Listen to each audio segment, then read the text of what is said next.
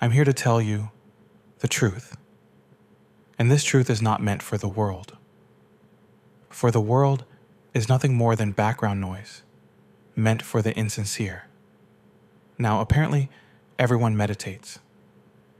There are now meditation groups and meditation billboards and scientific articles about meditation espousing the health benefits of meditation.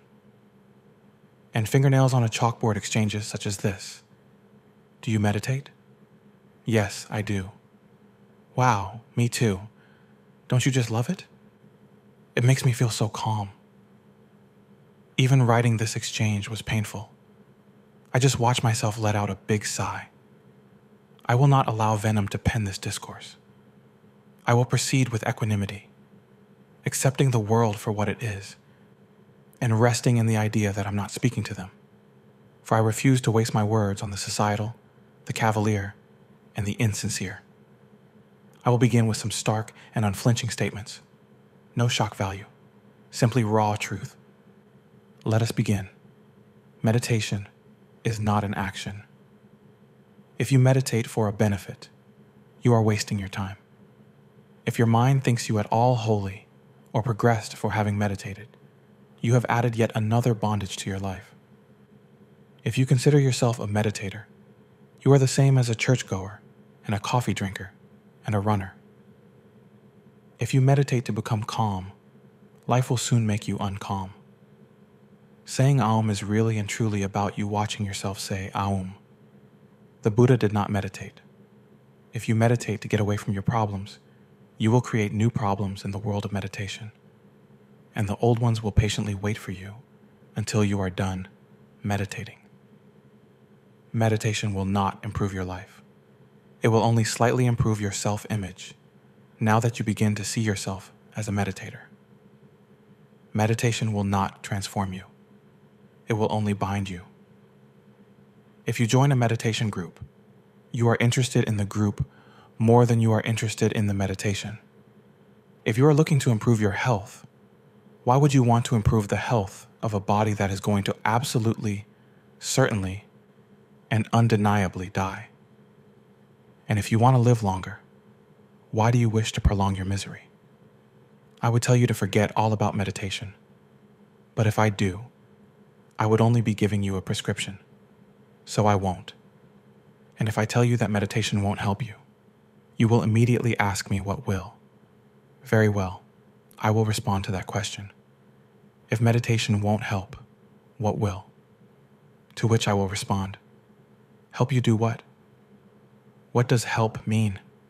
Help you with your problems, help you feel happier, help you be more calm, help you be less emotional, help you have better relationships, help you enjoy life more, help you out of your depression, help you alleviate your anxieties. My dear and close friend, do you not see? If you use meditation to help you get over these problems, meditation will itself become yet another form of anxiety. Why? Because if you meditate and these problems don't significantly lessen or go away, you will become disappointed. And this will absolutely happen. And if you have meditated, you know it is true. You are my evidence. And when you become disappointed in your meditation, you will wonder if you are doing it correctly. And then you are so completely on the road to doom. Because then you will search for the how, and you will find all the how givers in the world. The books that teach you how to meditate, where to place your fingers. Sit in the lotus or half lotus. Breathe through your belly so that you may expand the lower lungs and strengthen the diaphragm. Say the famous Aum. Burn incense to your east. Listen to the sounds around you. Watch your thoughts as passing clouds. Stay focused on your breath. Inhale for a count of four, hold for a count of eight, and exhale for a count of 16. Feel yourself sink into the floor or the yoga mat. Then open your eyes and feel refreshed. Why all this drama, friend? Why not just take a hot shower and be done with it? Oh, but you love that drama. You aren't interested in the salad. You're interested in the dressing. You aren't interested in the ice cream. You're interested in the fudge topping. I'm not scolding you, nor am I trying to be kind. I'm telling it like it is. And if you're honest, you'll admit it.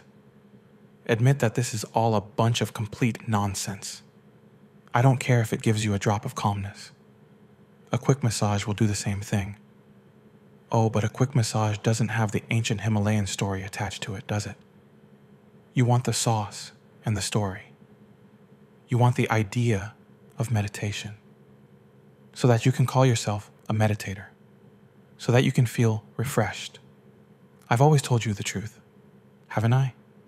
I thus request the truth from you. Why do you want to meditate in the first place? I ask you sincerely and openly and respectfully. Why? Aren't you tired of chasing stories already? Don't you have enough dramas in your life?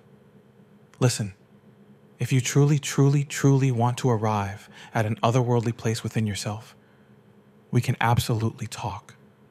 And it will be a joyous exchange, for I will be convinced that I'm speaking to one who is beyond all dramas and wishes for nothing but the truth.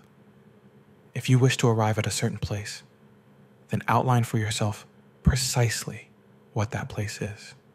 Fill it with details and colors, examine it, and re examine it to make certain that this is truly where you wish to go, and then set off upon a wholly sincere journey toward it, rather than chasing the recommended paths that you've been told about. The truth is, man is not in love with a destination. He is only in love being a member of the prescribed path.